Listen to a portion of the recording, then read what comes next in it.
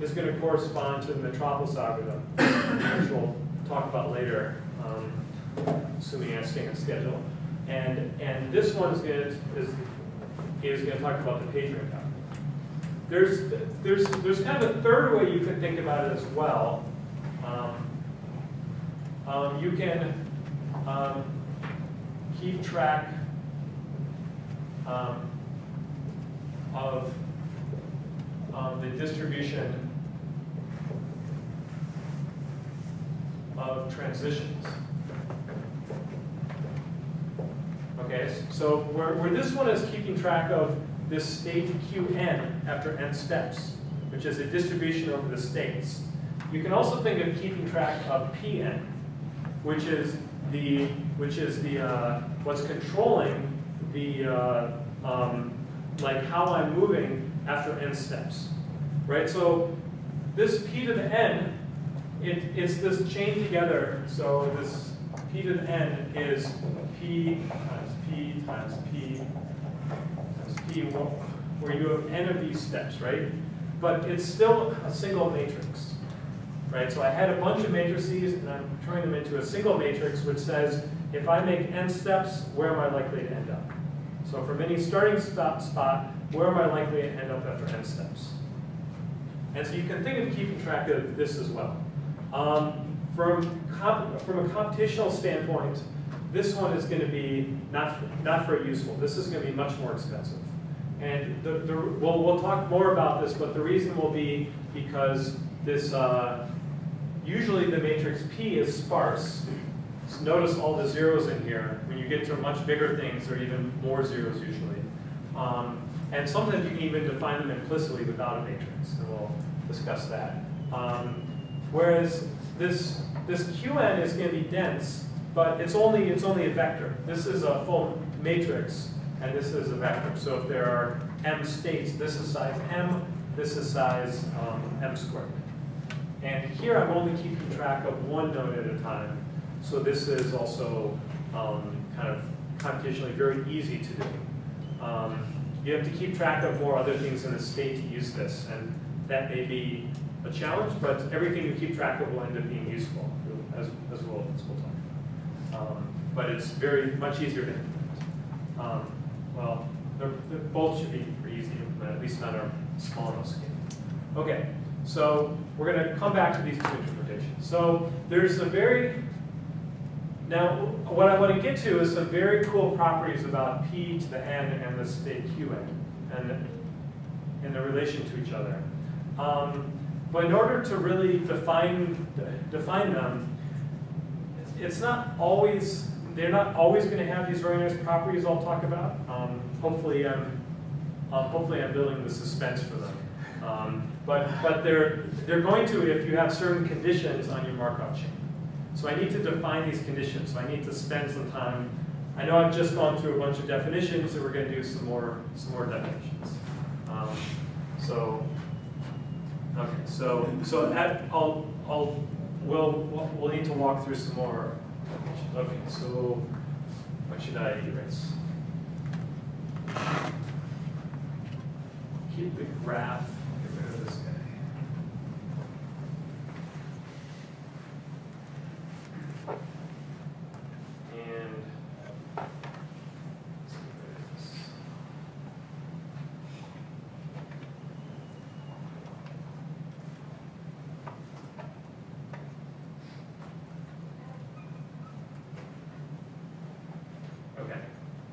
Um, all right, so, this, so the this is the definition, the important definition. The now key definition is going to be about ergodic, right? So um, the V, P, Q is ergodic um, if, let's see, um, there exists on some T such that all n greater or equal than t um, has all entries of p to the n non-zero. Okay. Okay, um, so what does this mean?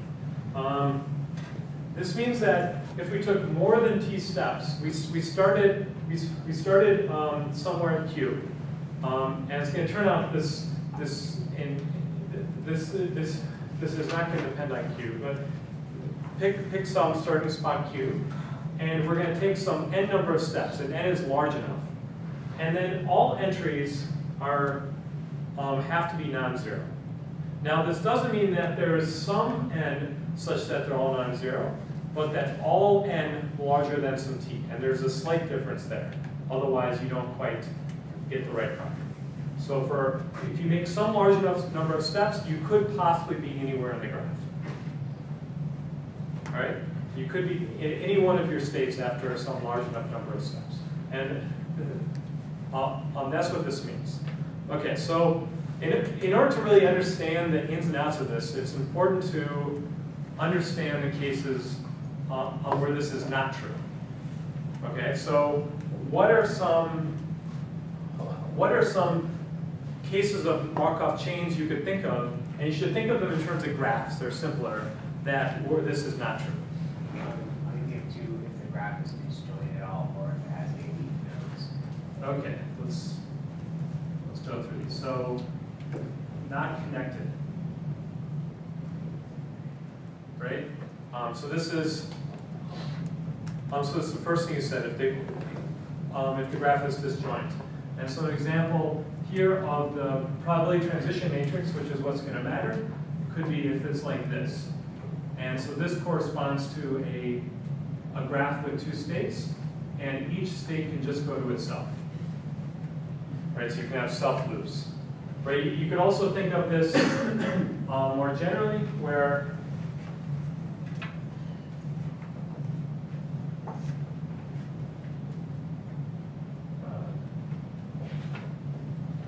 right? And so this corresponds to having these four nodes, and these two are connected, and these two are not connected. And you can think of more complicated examples, right? If you start at any one of these locations, then there's no possible way to get to one of these locations after any number of steps. You're never going to get there. You're always going to bounce back and forth. Okay, so this, so, so this is the first one. So we want our graph to be connected. We want and in general, we want our probability transition matrix to be connected. You can always get everywhere and uh, if, you, if, you, go long enough. Okay. Um, uh, um, the second one you said if there are um, leaf nodes, right? So I'll, so I'll make this a little bit, the, the terminology you usually use is there are um, transient and absorbing nodes. Um, so a transient node, I think, is, is, is, what you mean by leaf nodes, right? So, so an example of this would be um, if, if, you had a matrix that looks like uh,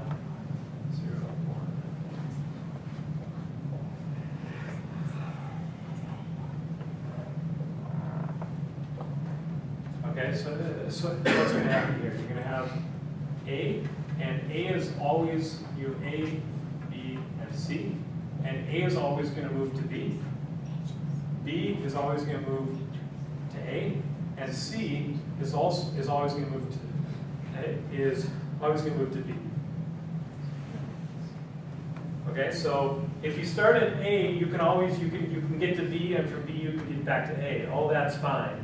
But you could get from, if you started in C, you're going to wind up in B, and then you're never going to be able to get out of this A and B. Right?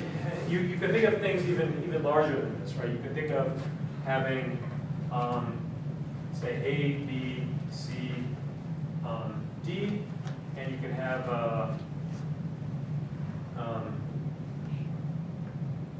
um, something like uh, um, E and F, and so let's say F always goes to E. E goes to F with probability 99 out of 100. A, B, C, and D. These always go uh, maybe one half here, one half here. A always goes to B, and B, um, one half up this way and one half this way. Um, but then you have one out of 100 out of this E and F, you're going to wind up in, in, in this part. So if you started in F, it's have, you're always going to go to E, and usually you're going to come back to F. But sometimes it's going to seep out. Sometimes you're going to seep out and go to A. Once you get to A, you always are stuck in this area. You can never get back into here. So it, it's, it's not that you always go out of this state, but you have some probability of getting out, and once you go out, you can't ever come back in. So these nodes, um, um, um, these are called transient because you're kind of, so when you're transient, when you're in a transient part of your life, I guess, you're kind of wandering around aimlessly and you'll eventually wander out into, and you know, you'll, you'll finally grow up and get a job and start a family or something, right? So I'm, I imagine some of you have been maybe called that by your parents at some point. Well, probably something like that, but not, uh, you know, they probably didn't call you trans, but they, yeah, but that would have, maybe would have been appropriate. Um, so, and then these other states, um, here and A and B here, um, um, these are called absorbing. Because once they take the probability from these states, once they grab this thing, it um, this never lets you go, right? So the, the, the, this becomes, you know, you're always in this part of the state space afterwards. So um, a transient, uh, a transient node is one that you can, you, you basically get away from, but it's hard to ever get back to. Is- that, is that a good? Well, it's, it's not that it's hard to ever get back to, it's that you can't ever get back to it. So instead of here, looks like I messed this up. This- Um, so it looks like D could never go anywhere, but let's say D always goes to, to C. But, but let's say this was, you know, nine, nine, nine, nine out of ten thousand, right? And then you have one state here, one out of ten thousand, a very unlikely event, right? Like, wouldn't be considered then th- these are no longer transient and these are no longer absorbing. You can, you can get everywhere, right? So, so this is like, you know, um, so what happens after you get married and have kids, but then, you know, uh, um, and this was your fun part of your life, whatever, and then you, um, um, and then after you win the lottery, you know, you, you, you know, I don't know, things change, you get back to having fun again? You get higher in the or something, I don't know. Um, all right, so, so, so if, if you do this, then it's not transient or absorbent, but, um, let me fix this, so. We'll get one number wrong, still going back to. So I guess you can't have transient without being absorbing as well. Like, you can't have a Right. transient node without having an absorbing nodes as their collection as well. Yeah, I mean, I guess you could say that, um, like, if, if it's, these are undirected, they're all absorbing, right, and there are no transient states. So, but in general, you say you have some transient and some absorbing nodes. And so this is also a condition where you don't satisfy this ergodic property, right? Because, you know, um, if, th- there's no n large enough where you're, if you started, you know, anywhere here, if, if, um, so, so I, I guess this means, um, maybe for all, like for all Q. Because if, if Q started here, then you, uh, there's always some positive probability you're in F of E, but this is, is, is going to zero. And the limit is gonna go to zero. Um, Okay, so, so, th- so these are two possible conditions where you're not ergodic. Um, there's, there's one more condition you need to worry about.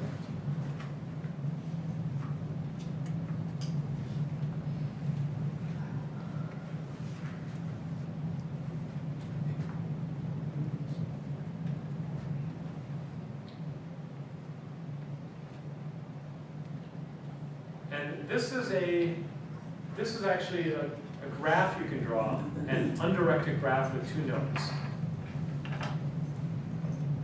Now, if you, if you think of, let's see, so if- if you draw a graph with two nodes, you can think of it as this matrix with only four entries in it, and they each need to sum up to one. And so in fact, I'm not gonna have any, any self loops. Right, so then it's just gonna be this graph. Why is this graph not absorbing?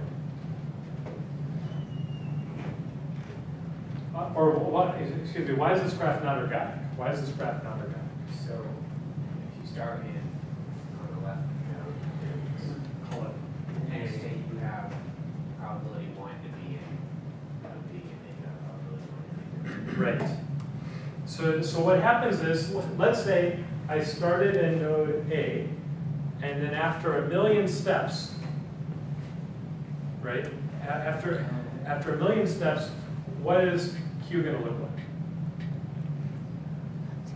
Um, I'll give you a hint, a million is even. Yeah, it'd be an A. It's always gonna be an A. You have no probability of being a B. What happens after a million and one steps? You're always gonna be in B, you're never in A.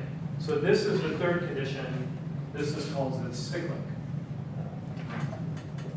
So if you have these cycles of the graph, right, so you, you know, more commonly, you can have, you know, a cycle of length three. So you could be in, in three nodes here. Um, but is this graph cyclic if it's, um, if this is not directed? Right. So you have to have this one be directed. So if you're in A, then every third step, if you start in A, then every third step, you're always in A. But if it's going back and forth, then it's, um, so if, if I can go from B back to A again, Like, it's not. right, then, the- then I can, in the, after two steps, I can be back in A, or I could be in C. And I could have also been in B because I could have gone from A to C to B. So after two steps, I'm already, I'm already have a non-zero chance to be everywhere, right? And, and from, and, and that's gonna continue, in fact. So, so if, if it's undirected, then for, um, if T is two, then it's, uh, um, th- th- th- th- then it already satisfies the ergodic. Okay, so how about, how about this graph? Um,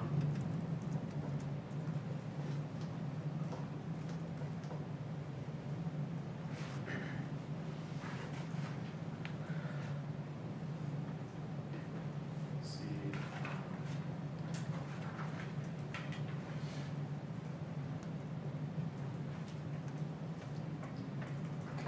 Uh, All right, why is this not ergodic? Well, because there's a probability from A going to B or D, so you, you don't know if N equals I'm telling you where it could be, because switch off either time. At least I think. Okay, so I have two parts here. This part is, is a cycle of length three. This part is a cycle of length two. Right, so is it, so, so so it's simple just to do with a simple thought experiment, right? So if I start in A, can- I be in A after one step? No, so if I start A, can I be in A after two steps? Yeah, you can. You can go to D and then back to A. Can I be in A after three steps? Yeah, you you can go around this way. So then, um, for any step after three, um, can I be in D? Starting at three, I can be there in three steps by going D, A, D again. Or I can be there in four steps by going A, B, C, A, D. Right, so, so once you break the cycle, then you're no longer cyclic. Right, so, so this graph is not cyclic. Right, so these are, wait, this one, once I make it directed cyclic, this one is not cyclic, even though it's the combination of these two cyclic graphs. But couldn't we determine the pattern of what the, the second graph is there? I mean, it seems like we could come up with some heuristic on what it could be at any time, like the probability of us being D or probability of us being C, or B or C, given the the integer number that we're at, right? It's not integer. Uh, right, so you, you can actually, you can actually solve explicitly for p to the n for n. You can work out the probabilities, and there, there are many, there, there, there, there are many ways you can do it. Um, one is, you just do exactly what I was doing here. You start from a certain state, and you walk forward, and, and that tells you, you just calculate after, after seven steps, you have Q7, and that tells you exactly your probability of beating the states.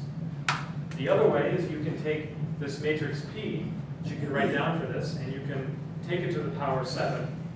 And then you can say, you know, for a mini Q, I just need to look at this, this, uh, this matrix P, to P to the power seven, and I know what the probability is, right? And it's, it's going to be dense. If it's, if this is ergodic, it's going to be dense. Um, and so in fact, if I know I started in, in one of the states, that was one, I just need to look at this column. That column tells me the probability I'm in that state. If I started, um, if I started, if I started in this fourth state here in state D, then after seven steps, if this is P to the seven, this column tells me the probability I'm in this, the, the other state.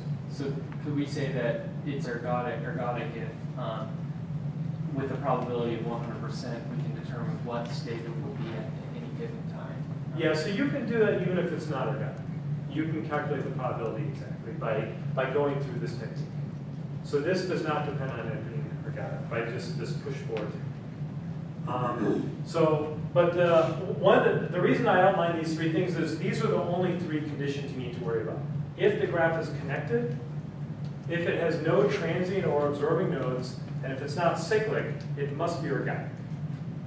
Right, so you just need to look at these three properties. If they're satisfied, then you know it's ergodic. Okay, and, and this, this, this ergodic thing is cool, um, because what it says, um, is that, um? So,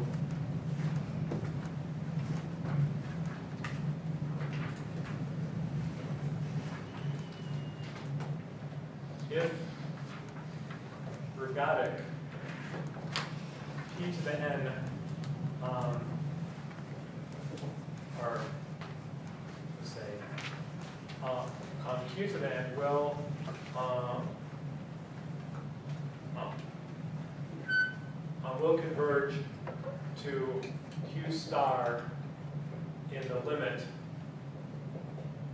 as n um, um, goes to infinity. So it will converge to a Q star. Okay? Uh, so, so, the reason this is cool um, is because, so you can write this as Q star equals P star times Q. This P star is also converged, which means that it does not depend on Q any starting state, you'll have the same final distribution if you take enough steps. So that's, okay, that's kind of this life lesson two here. So if you take one step at a time, you will eventually get there. And there is the this limiting state. So just one of these states at a time, you'll eventually get to this limiting uh, distribution Q star. Okay. So this is, is, is cool, but if you, you can think of it as Q star is also going to equal to, this means this is for any state, means Q star times P um, times Q. Or actually, you can write this as P, P star Q, right? This is equal to, Q star is equal to P star Q star. Right, so if you're at this limiting state, your distribution is this. Oh wait, this was, this is. Right, you take one step, you're still at this limiting state. Right, so this is kind of the, you- you're not changing your distribution anymore as you make these steps forward. Um, Right, so, so once you get here, um, you can stop. The chain is not doing this. Now, this is in the limit, so it may never actually get there, but it'll get close enough that you, they basically can't tell. But if you're in this limiting state, then you're, you know, going to get, then applying another step is not gonna do anything. Okay, so, um, so who's taking linear algebra? Right, Okay, so, so, so what is, what is going on here? So it Q star as eigenvector, it's the dominant eigenvector. Right, right. Um, so Q.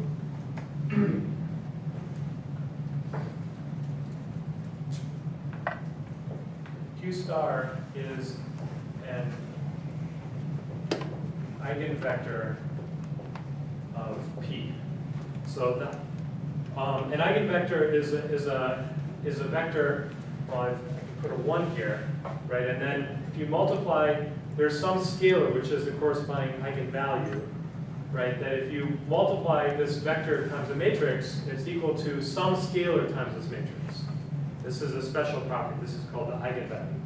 And so that means that if you have this matrix, you can use your linear algebra technique to solve for um, the eigenvectors. And that'll tell you Q star. That will tell you this, this, this limiting state. Right, so instead of going through this process step by step, um, and seeing where it lines up, right, you can just use, you know, um, just use MATLAB or whatever to solve for the eigenvector, and that tells you the state. That's, that's the technique that would use, uh, you would iterate the dominant eigenvector. So unless you have a really small matrix. Yeah. You can solve directly for Q star, but it's, it's solving it for the null space of a, some experiment I don't have. So there are, there are certain cases where you can solve for it more efficiently. Um, so my linear algebra is, is, uh, is but there are some, and, and it's, you, you can do like Gaussian elimination, um, to, to solve for this as well. And, and maybe that's not how you do it on a very large scale, but if you did that, you would essentially be solving for um, exactly. Uh, Now, if you're, if you're taking linear algebra, or especially numerical linear algebra, you, you know it's not actually exactly, but, you know, from, a- it has a, has a closed form solution, which is, which is cool. Um, Unless that closed form involves, you know, I have to do dividing, and then it's actually not so cool. Um, But, right. Um, Okay, so, um, so, uh, so it means you can, instead of implementing this yourself, where you do the step forward, you can, you can use these linear algebra tools, and they will either do Gaussian elimination or something more robust, which may actually be iterating this process to solve this for you.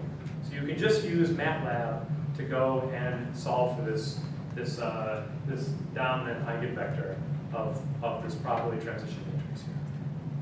Right, and so this is also to remember this property where once you're in this final state, you're, you're transitioning back to this final state.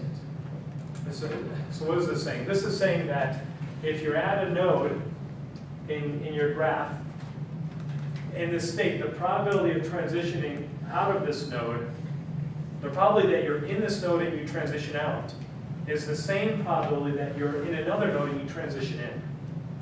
Right, so if, if you think of this as karma, if you're giving away, you know, um, you know, favors to someone, people are going to give you equal favors in return. Right, so that's this this uh, third life lesson, right? So you're in the, in the in the limit. See, in the limit there, that final state, everyone has has perfect karma, right? So everything you give out, you get back in return. So that's unless they're transient and absorbing nodes. There's, there's someone who's greedy, and these people, you know, have, have extra good karma somehow. Actually, so that doesn't. So that's probably true in life, unfortunately. you know, well, we can think that life is actually ergodic. This is just a little off topic, but I mean, that seems like a principle that sociologists could use to kind of study human behavior, and build, I don't know, graphs out of. Possibly, if you could quantify karma, that is. Um, I, I don't know if you're living in a Coke commercial, right? Then, then maybe that's That's true, you can quantify the number of cokes passed or something. Um, Yeah, so I, I- I'm not sure if- if sociologists have said this. It's, it's possible, it's possible, it's not, I don't know. I just look at it, because I've worked with a bunch of companies, like some large corporations, and I just see like uh, how the political structure works out, and it really depends on how, you know, the, the, how people network with each other, and how they're set up politically, you know, whether they rise or fall in the company is really based on what they do with other people, and I don't know, in a way, it kind of seems like, if you look at a person who's really high up in the company, they've probably networked a lot and and done a lot that way. I, I don't know.